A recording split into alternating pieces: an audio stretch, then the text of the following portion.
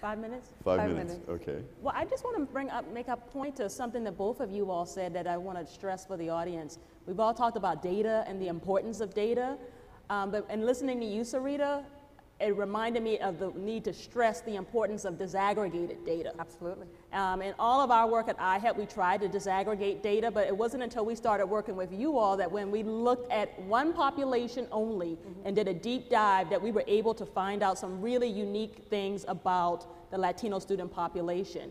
And right now we're doing some work with the Asian American community doing similar types of studies about what's happening to Asian students because we have the idea that Asians don't have problems in higher education. There's this model minority myth.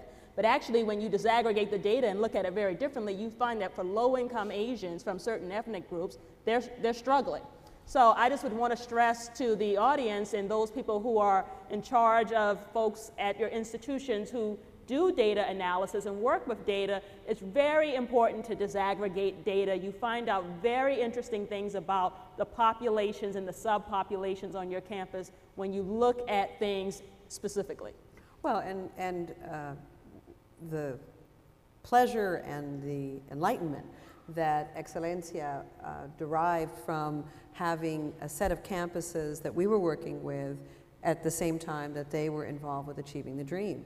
Because one of the things that is very true about data collection is it's expensive.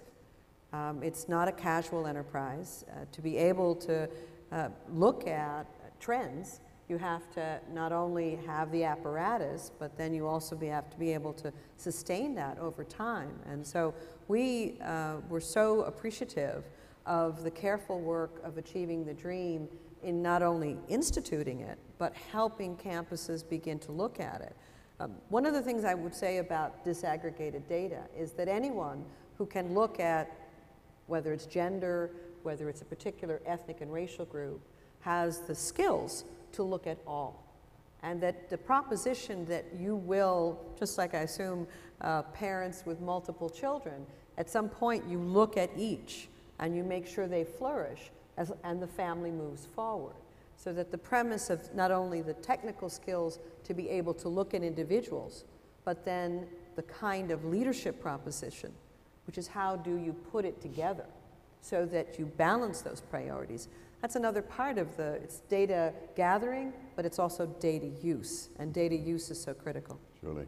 We, we believe that, um, that data is absolutely critical and disaggregating data is absolutely critical to understanding what, what one does in the classroom in order to improve um, the, the teaching and learning in the community colleges. And we believe that so deeply, and so do all of the partners that have been involved.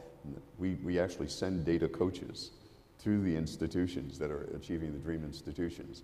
And they spend several days working with leadership coaches who are also sent to the community colleges um, with data, a core, a core team, leadership team, and a core data team to determine how to build the capacity at, um, so that institutional research can take place in meaningful ways to uh, inform wise decision making going forward. There are three things that we know are really, really critical, and we've, we've learned as a result of our work with several rounds of colleges now. The first is the data issue. We have to build the, the institutional research capacity to know what's going on. I mean, um, someone said once, um, without data, you're just another person um, with an opinion, with um, limited information, and that's very true. The second we know is that you have to engage faculty, and you have to have sustained engagement of faculty and, and professional development, especially adjunct faculty. As many of you know, uh, but some of you may not, nearly 70% on average of the faculty members who teach our developmental education courses are adjunct faculty.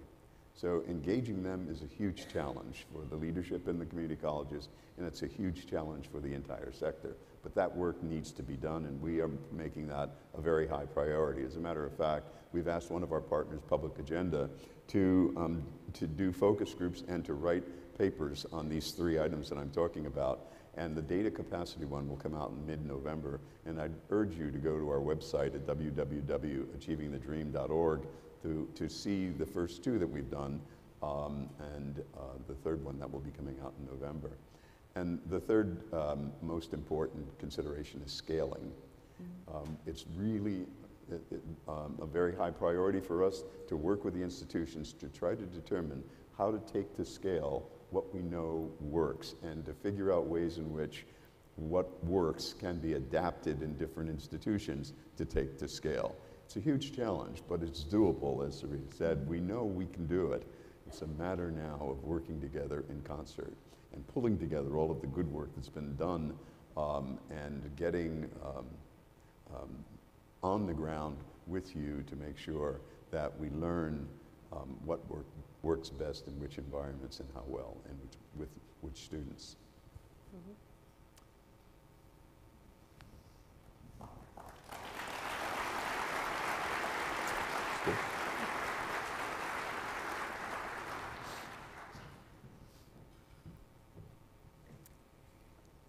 Have one question um, that I'd like you to address, and that is um, as outside organizations, um, and as a trustee, it's important for all of us as trustees to understand, um, and, I, and I certainly have heard it, but I'd like to succinctly put what is the value that you bring to us?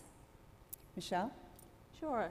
So as I mentioned earlier, we are an organization located in Washington, D.C. Many of you are not in Washington, D.C., but one thing that we do is we look across the nation constantly and we want to know from you what is happening on your campuses for a variety of reasons. The first reason is we want to elevate the success stories on your campuses, and we want to connect you to others that we've seen across the country who are doing important work in particular areas. So we see ourselves as a bridge in that regard.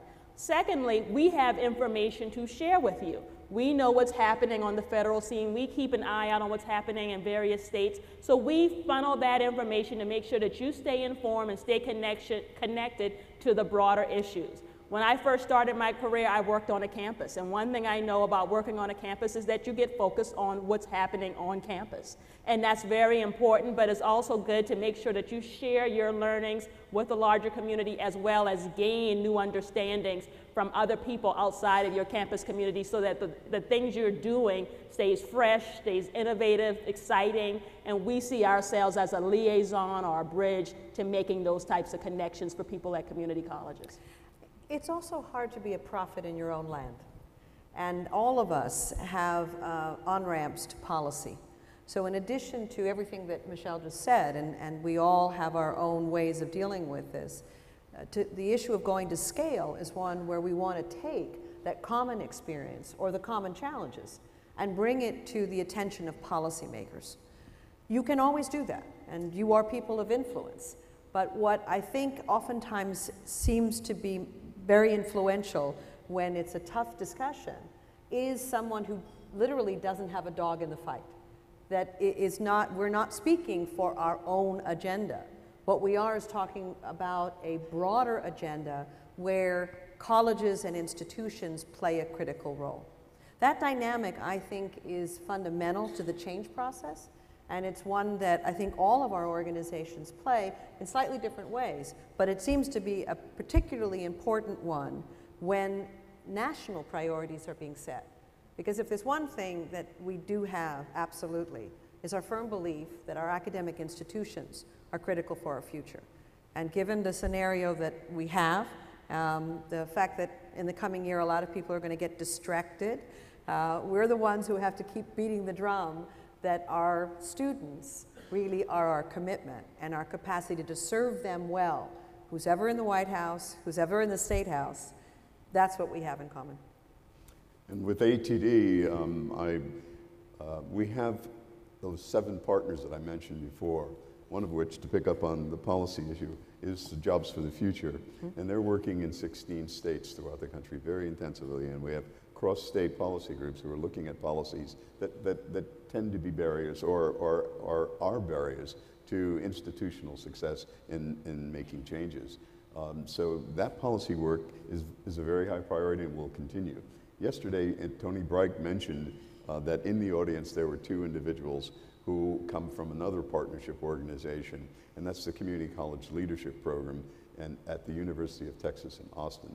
And Byron and Kay McClenney are two of our strongest and, and brightest and most able leaders among our founding partners. And they have led in the creation of trustee institutes. And they now have a partnership with ACCT um, where they are holding trustee institutes to help you as trustees better understand um, how you can be most helpful as leaders, not only in your institutions, but hopefully leaders uh, in, in our national reform movement going forward. So I urge you to think hard about working with them, um, ACCT, and, and with the Community College Leadership Program, because I, I can assure you, you'll find that, that time well spent with them um, will be extremely beneficial to your role and your accountabilities as, uh, as leaders in your, in your communities. Thank you very much. And I'd like you to please all join me um, for thanking them to taking the time out today um, to help us understand some of the issues and the partnerships that they can bring forward to us as trustees. Thank you. Thank you. I'd also like to thank all of you for joining us today, and we do look forward to seeing all of you this evening at our annual awards gala tonight at 7 p.m. Before we adjourn, I do want to remember and remind you to fill out the Congress evaluation forms. This year, you may also complete those evaluation forms at the DataTel Cyber Cafe. And one last reminder, if after hearing this session, you are not inspired to attend the Diversity Leadership meeting in November in a few weeks, I don't know what could inspire you to attend it. Um, we all need to go back to our campuses. After hearing these things, um, are you asking the question about inclusion and equity and success on your campuses? I promise if you go to this leadership on diversity, you will go back to your campuses with things you can initiate immediately, with information where you can start setting policy on your campus to make sure there's equity and inclusion for all of your students, especially as it relates to success. So, one last plug for that. And now this session is adjourned.